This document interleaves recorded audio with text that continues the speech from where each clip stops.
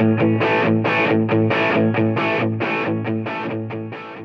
the previous video, we looked at the chords for What's Up by Four Non Blondes.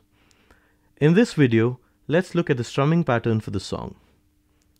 A beat of 8 makes up one bar here. On the first beat, play a downstroke. On the second, a downstroke followed by an upstroke on the and of the beat. On the third beat, a downstroke again.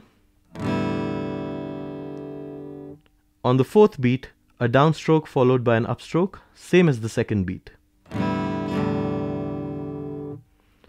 On the fifth beat, play a downstroke followed by an upstroke on the and.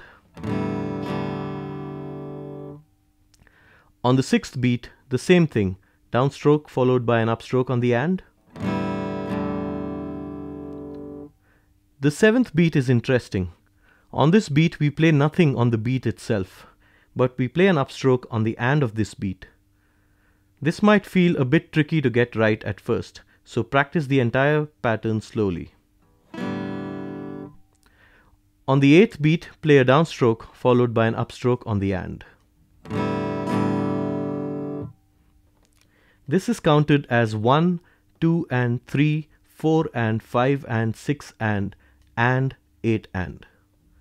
Play each chord for one bar. This is how the entire pattern sounds when played slow.